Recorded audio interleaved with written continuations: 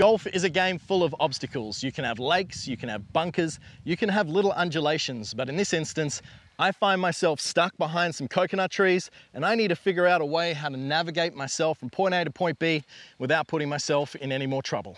Let's get into it.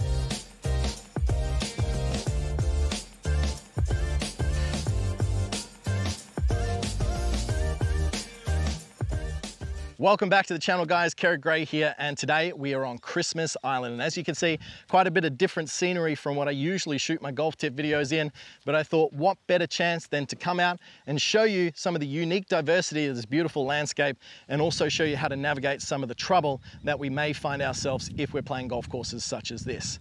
And in this instance I'm stuck about 100 meters away between here and where the pin is and we've got some big coconut trees, we've got some smaller palm trees and we've also got a frangipani tree just short of that pin. So what I need to do is I need to figure out a way of how to get my ball from here to there without hitting any of this trouble and make sure that I'm giving myself the best opportunity of saving my par. Now, a lot of the time when you're in these situations, you're always best to try and figure out can you play a stock shot?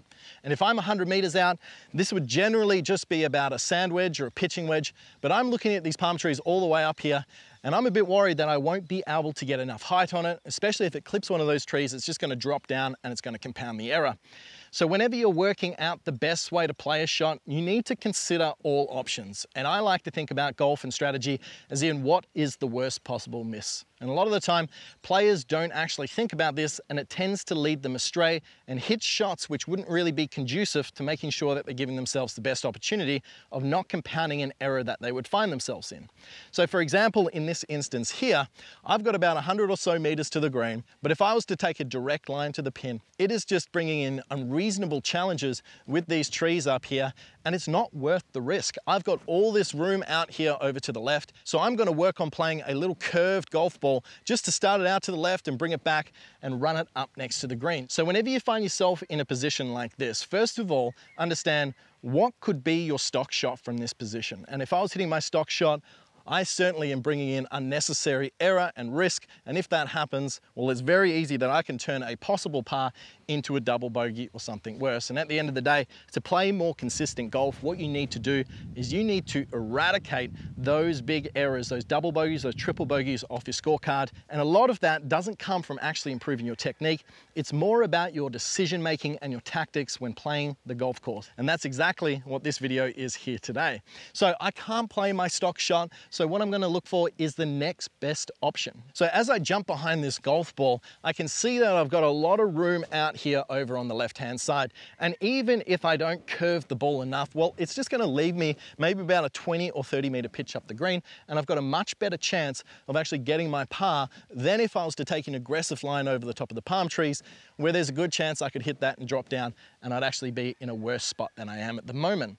So straight away, what I've done is I've eliminated the worst possible miss, and for me, that would be hitting the trees in front. So what I need to then do is I need to figure out what sort of trajectory I need to hit to avoid hitting those palm trees and try and get as close to the edge as I possibly can without bringing in the trees themselves, okay? So I'm trying to advance my ball about this 100 or so meters up near the green, just so I've got some sort of chip onto it, and then I've got my chance to hold that putt for par, and I'd be very happy with that result. So from there, I've identified the sort of trajectory I need. It doesn't need to be my stock shot, it needs to be quite a bit lower, and I can see a palm tree in the distance here. Not only is that gonna be a great target line, but it's also gonna be about the height that I'm looking to hit.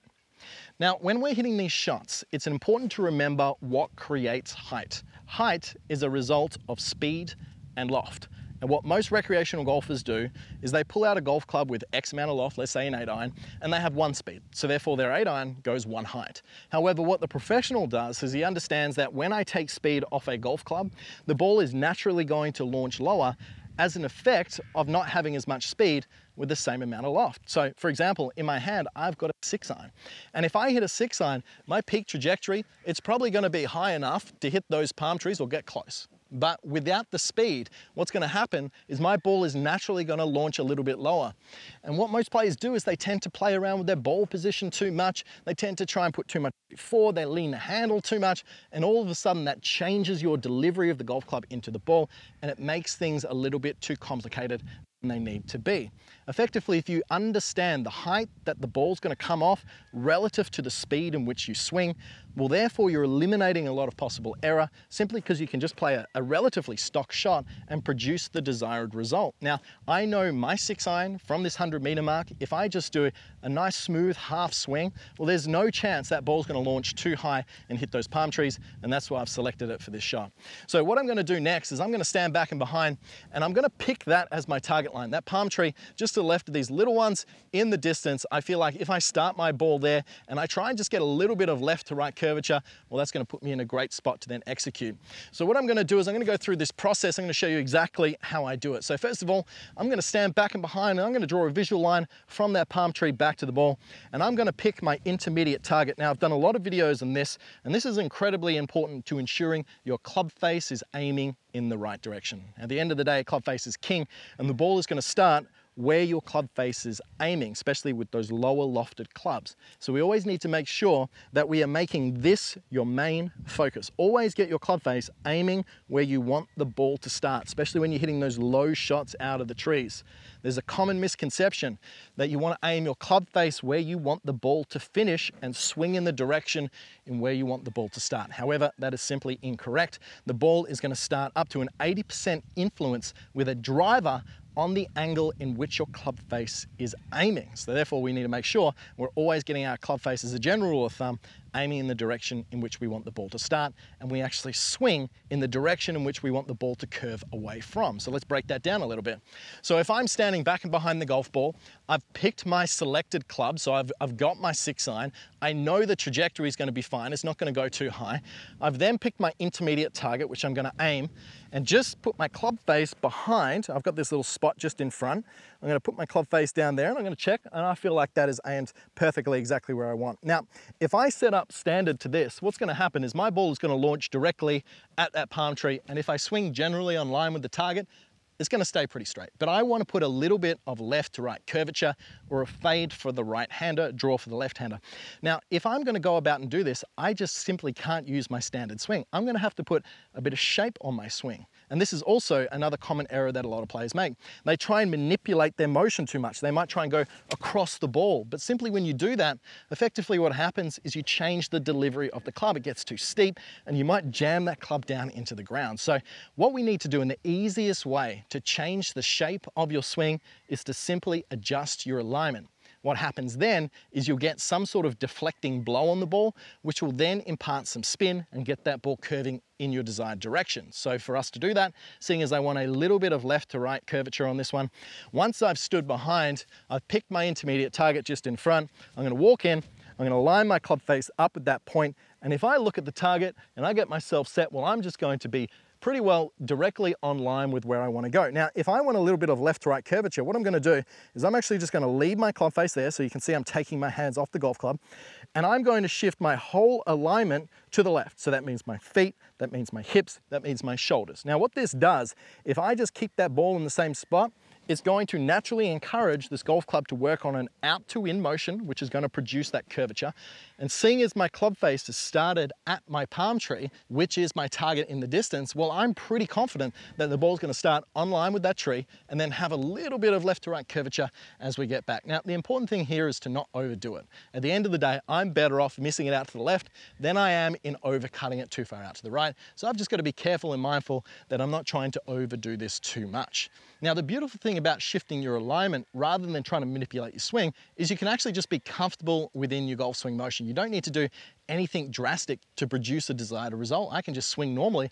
And what we'll generally tend to see is we'll get a little bit of curvature. Now, even if it doesn't quite work out and the ball goes pretty straight, it's not the end of the world. I'm still just gonna have a close chip onto the green and a good chance for my par. However, if I get a little bit of curvature, well then I might be able to sneak it up on the green and hopefully get that birdie. So let's run you through this. I'm gonna stand back and behind, so I've picked my club, I know my trajectory, I've got my intermediate target. I'm gonna step in, I'm gonna line my club face first with the palm tree in the distance, looking at the palm tree, I'm gonna set my body. I'm gonna take my hands off the golf club. I'm gonna shift my alignment to the left. That means my path is gonna be left of where my club face is. And what I'm gonna do is I'm gonna do my little half swing. Let's see how we go.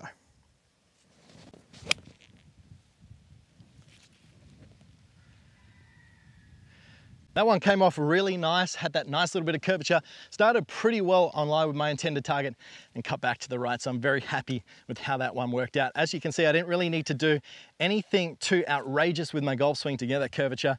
It's really at the end of the day about following a process, understanding the concepts of where the ball starts is going to generally be on line with the club face and then curve away from the direction in which you swing. So if you find yourself in some trouble, a general rule of thumb is see if you can pick your stock shot first. If you can't do that, find out what the worst possible miss is, avoid that at all costs, figure out what trajectory you need, what club you need to select, aim your club face in your intended starting line, and then swing in the direction in which you want the ball to curve away from. The easiest way to do that is simply shift your alignment. So I hope this helps next time you find yourself in trouble and you don't put yourself into a position where you're compounding those errors. I hope you've enjoyed today's video. Please like and subscribe if you haven't already. But until next time, I'm Kerrod Gray. Thanks for watching.